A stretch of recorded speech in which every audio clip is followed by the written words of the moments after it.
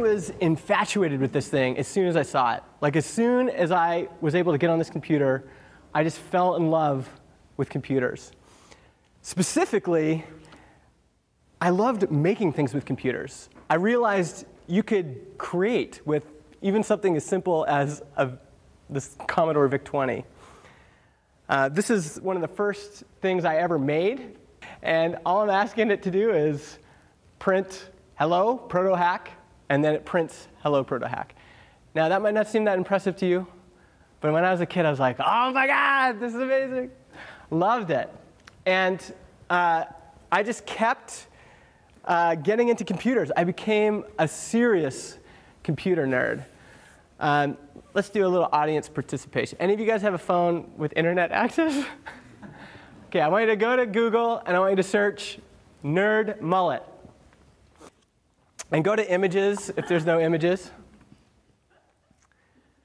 Who's got nerd mullet up? This is me in grade nine, for real. I was really into computers. Was that actually you? That's actually me. You're the first image on Google. I'm the number one search result for a nerd mullet.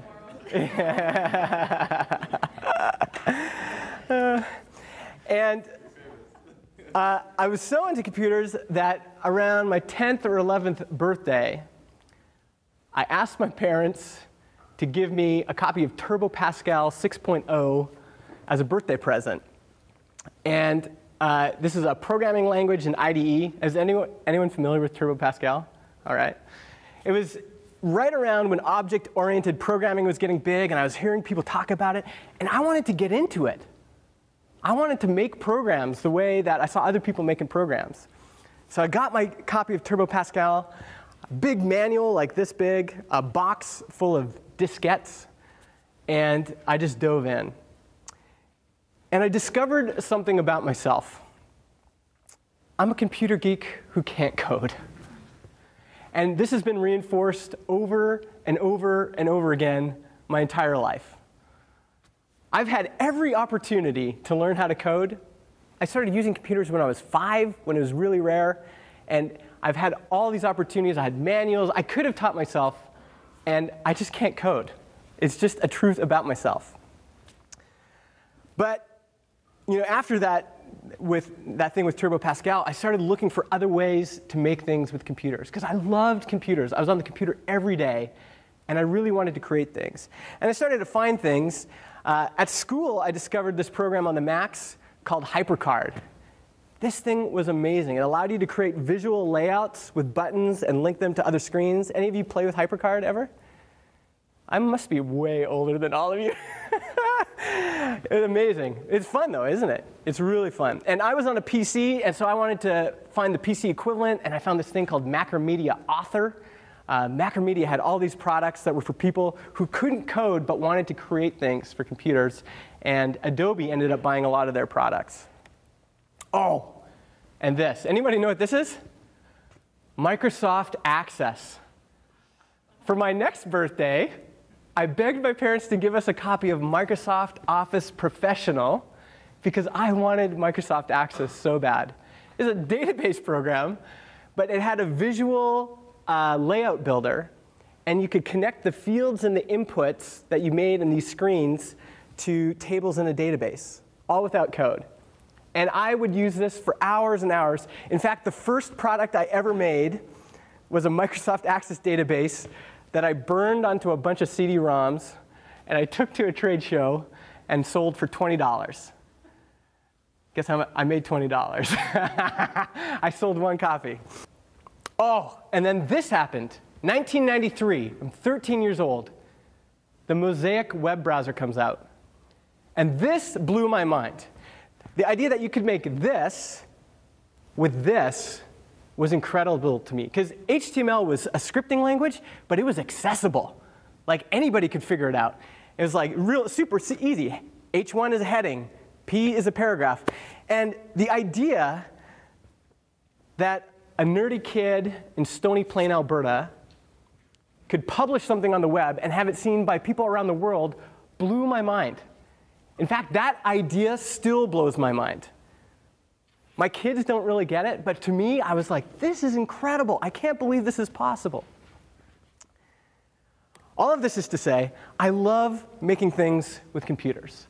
And I'm still making things to this day. This is my podcast, it's called MegaMaker. And uh, this is something I'm just doing for fun. I speak into a microphone, it goes into my computer. I can edit it in GarageBand. I can put those MP3 files into an RSS feed that then syndicates it around the world. That blows my mind. There's people from all around, there's people from all of your countries listening to this show. It's insane. So sometimes, some things I make for fun, some things I make for money now. This is a project I just launched last week. So, can you make stuff on computers if you don't know how to code? Hell yeah! But this is an entrepreneurial uh, event, like it says right on the thing. This is like for entrepreneurs. So I guess the real question is can you make a product if you don't know how to code? Hell yeah! But first, you need to understand a fundamental truth about products. If you're going to remember anything from this talk, if you're going to take a note, even if you have to write it on your phone, this is what you want to write down. This is the most important thing about products. It's taken me 10 years to learn this. People use products for one reason only. I only see a few people writing this down. This is going to change your life. People use products for one reason only to make their lives better.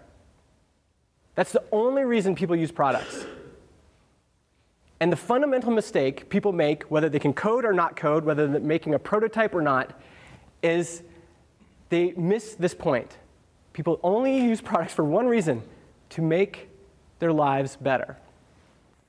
See, everyone wants to make progress in their current situation. So if you have a dumpy little apartment, you want a better apartment. If you have a crappy, broken down car, you want a better car. If you have a, a sick dog, you want a, a, healthy dog. Okay, that's a bad example. But uh, here, here's a better example Apple iPod. How does this make people's lives better? Well, let me take all of my music with me so I have something to do on the bus. Because before, if you were on a long bus ride, you only had your Sony Discman, and that only had 12 songs on it, right? And that wasn't good enough for the whole bus trip. You give me my whole music collection, let me take my whole music collection with me, that's good for like 10 bus trips, right? How does it make your life better? Gives me something to do on the bus. Uh, here's another way to think about it people hire products to do jobs in their lives. Just like you would hire someone to you know, do a job for you, it's like Apple iPod, entertain me on the bus. That's what I'm hiring you for. Here's another example MailChimp. How does this make people's lives better? Help me to send better email so that I can sell more stuff. So think about this with real human beings. You got a business owner over here. This is where they are. They want to go over there. What do they want to do? They want to sell more stuff. And there's some whys for that. Ever heard of the five whys? Any of you guys use that? It's a way to find the root cause of anything. So why do you want to sell more stuff? So I can have more revenue. Why do you want more revenue? So I can have more profit. Why do you want more profit? So I can make a living, right? Why do you want to make a living? Well, you know, that's the root cause, right? So your idea, whatever it is, you all have ideas. I have ideas. I wake up two in the morning with ideas. But your idea has to help people make progress in their lives, or they won't care about it. And the biggest mistake people make usually isn't coding their app the wrong way or making their app the wrong way, it's working on the wrong idea. So you have to build something that people want. It's harder than it sounds. How do we do that? So I'm going to explain how we do that. Step one, and this is what's worked for me. Maybe it, it might not work for everybody. This, this is what's worked for me. First, focus on a specific group of people. So, why do you need to focus on a specific group of people? If the whole purpose of your app or your product or whatever you're building is to help people, how are you going to help people if you don't know who the hell you're helping? Who is this person? Oh, it's just for people uh, on the internet. Like, that's not enough, right? You need to know who you're helping so you know how to help them. So, here's some examples parents with kids in diapers, folks starting a podcast, freelance designers, F sharp developers, 40 plus joggers, commuters. I just pulled these out of my head. These are just ideas of groups you could focus on, right? A lot of you are still young, but one trick for figuring this out as you move through life is to say what group is already paying you for your time and expertise, or uh, it's not as good, but what questions do people always ask me? Right? So, um, sorry, what's your name? Uh, you that were talking about the music mastering? Dominic. So, if everybody in the school goes to Dominic for recording advice, that's a pretty good idea of maybe the group you should be focusing on.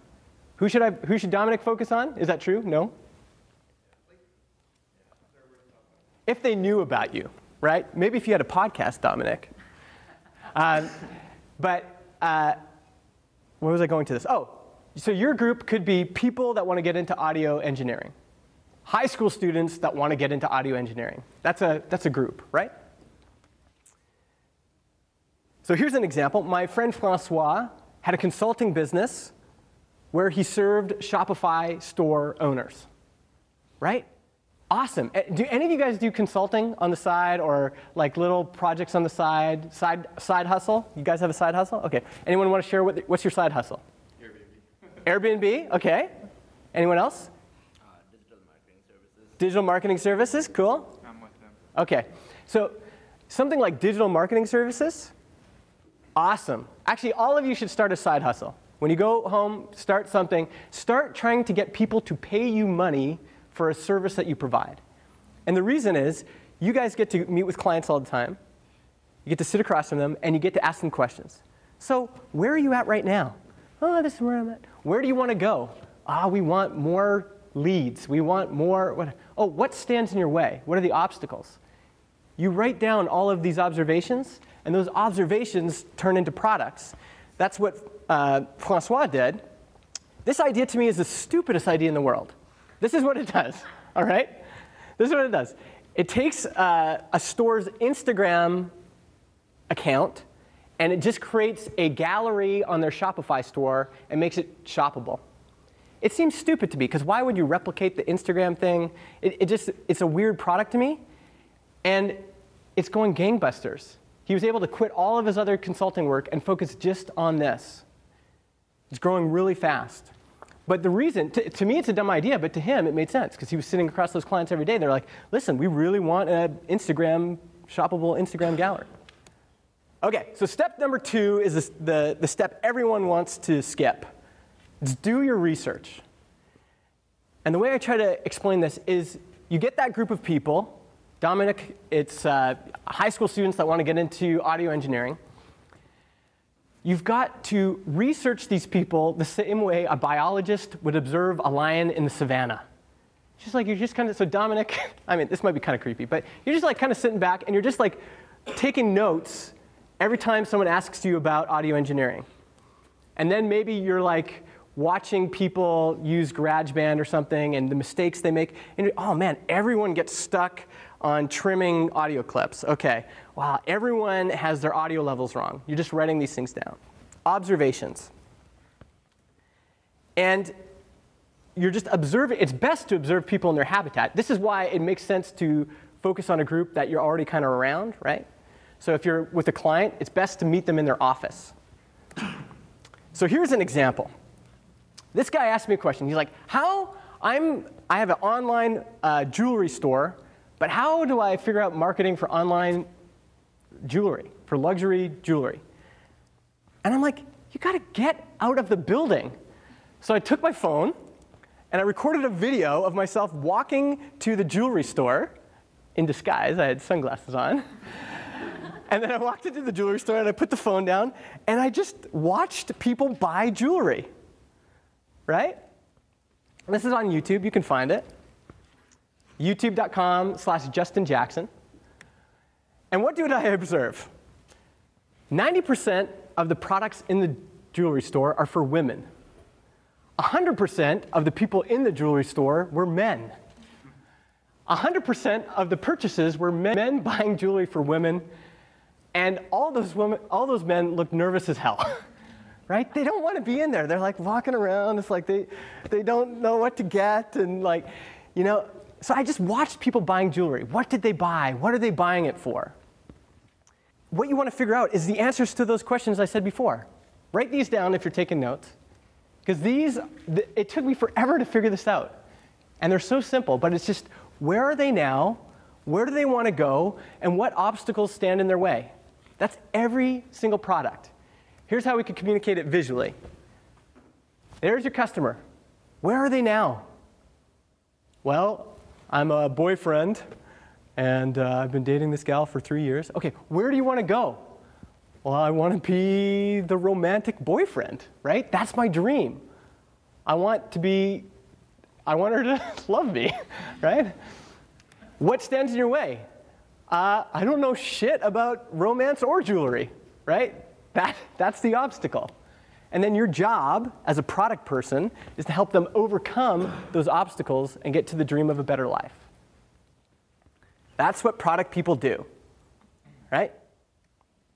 Oh, the other way of it is to think about their dream is the superpower they want, right? What's the superpower they want? Well, I want to be the romantic boyfriend. What are you right now? Well, I'm a dipshit. You know, I want to get there, right?